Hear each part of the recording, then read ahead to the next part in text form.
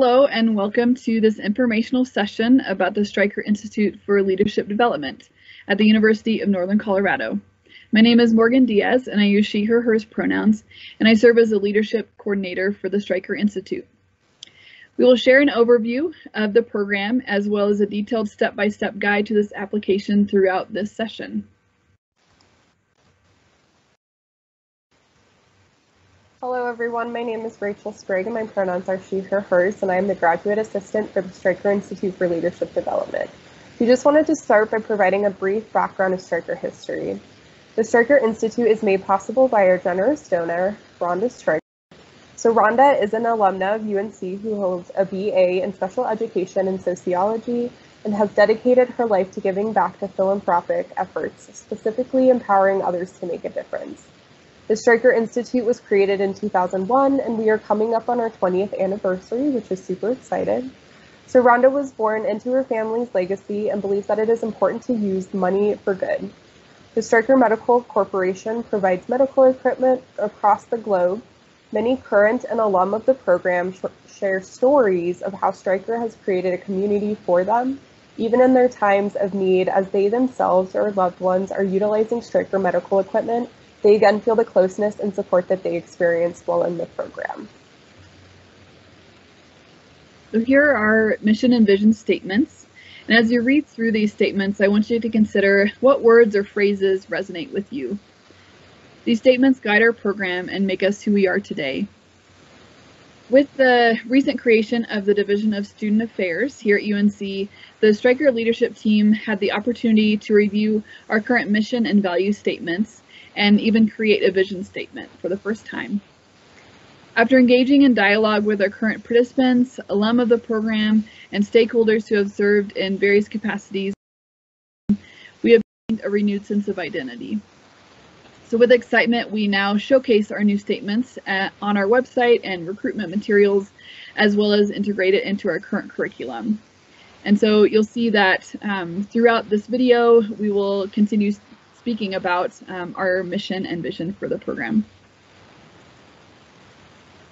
So if you ask participants uh, their favorite part about Stryker, you will gain a wide array of answers. And just naming a few, some Stryker participants enjoy being able to participate in social justice and identity-focused workshops, as well as proceeding within the Stryker experience and focusing on leadership development, mentoring, as well as a final capstone and professional development experience upon transitioning out of the Stryker experience. Some Stryker scholars may also highlight the ability to graduate with distinct, distinction and receiving a Stryker stole upon graduating, and other Stryker participants may highlight their favorite part of their Stryker experience and being able to join connection and community with a group of students who identify as women or trans women who also ho hold under other underrepresented identities. Stryker is a participation-based scholarship, and all Stryker re recipients are required to attend workshops, banquets, as well as any additional mandatory Stryker events that we may have throughout the year. And so the first year experience in Stryker comprises of a year-long opportunity of engaging in community building as well as identity development. So this year focuses on social justice and the foundation for continuing their engagement in learning for a maximum of four years. Participants who fulfill all four years within the program will explore identity and leadership through experiences focused on leadership, mentorship, and professional development, which includes our capstone presentation. Social justice is a large part of our curriculum in establishing a foundation of learning about identities, ourselves, and others. Workshop snapshot. So here are a few snapshots of what workshops may typically look like. Um, you can see in the photos pictured on the left and upper center, scholars are engaging in presentations and large group activities in, our Scott Wilcoxon building located on campus pre-COVID. The lower centered picture highlights a team builder activity between mentors and mentees during their third year experience focused on mentorship and then the far right picture includes a scholar um, recipient just networking during our annual retreat. So as mentioned um, previously, Stryker workshops, activities, and events are typically held through varying degrees in person. With the unprecedented appearance of COVID-19, Stryker has since moved to a completely remote and virtual learning experience. So in the following slide, we will show you and discuss what this experience has looked like during this time during the pandemic. Alrighty, so moving on to virtual workshop snapshots. So just here are a few snapshots of what workshop has looked like during um, learning in this remote setting. You can see in these pictures we are greeted by the current and graduating Stryker scholars via webcam. So thankfully, we have had access to both utilizing Teams and Zoom in order to provide Stryker participants with a fully virtual experience for this 2020 and 2021 academic school year.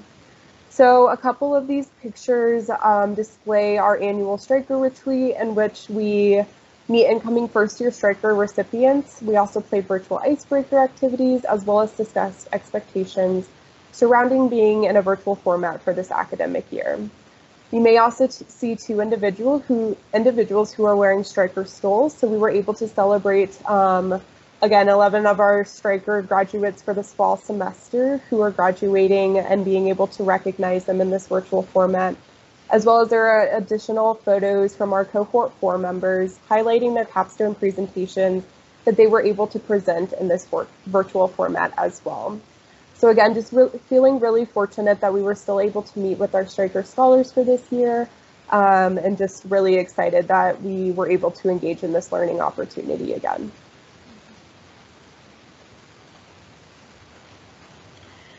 So as the semester and um, the years come to closes, um, or come to a close um, on both semesters, we, we honor our graduates um, as they continue forward, making positive change in their community.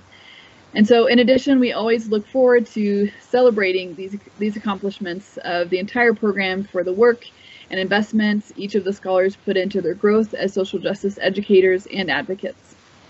And so this year, uh, we were able to celebrate our 31 graduating scholars in spring 2020. So you can see these are the these are the selfies that our scholars sent in to showcase them as we honored them throughout the throughout the banquet. And then this fall, 2020, we were able to celebrate our 11 graduates. Um, and so you can see them proudly wearing their golden Stryker Scholar stoles um, as they walked across the, the virtual stage um, in honor of their accomplishments. And so what's amazing about our Stryker community is that the graduation rate of our, of our Stryker participants is 94% which is nearly three times the national average. And so we wanted to um, showcase our um, our 2020, 2021 Stryker recipients in um, in all of the four cohorts that we have in um, in them sending in their selfies at retreat. Alrighty, so now the question being, are you interested? And if so, so these are the eligibility requirements for the Stryker Institute for Leadership Development scholarships. Uh, so students must identify as a woman or trans woman and hold at least one additional underrepresented identity listed but not limited to race, sexuality, nationality, class, first generation, parenting status, age, ability, and veteran status. In addition, scholars must be a full-time student at UNC, bringing it, it to, or bringing it to at least 24 completed credit hours.